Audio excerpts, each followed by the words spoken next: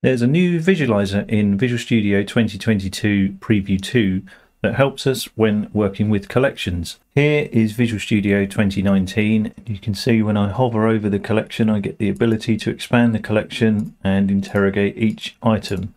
Alternatively, I can use the locals window down here and expand this out and again see each item.